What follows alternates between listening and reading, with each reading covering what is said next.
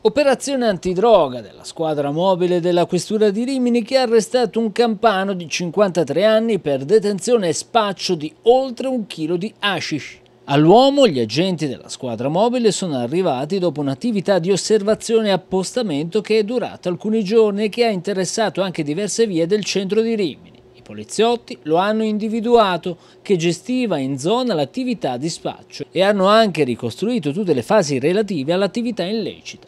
Dopo aver raccolto elementi sufficienti, gli uomini della mobile hanno bloccato il 53enne e hanno anche perquisito il locale utilizzato per tenere la droga. All'interno la polizia ha trovato l'ashish diviso in 11 tavolette. I poliziotti oltre alla droga hanno anche sequestrato il materiale usato per il confezionamento, oltre a denaro contante. L'uomo è stato posto agli arresti domiciliari.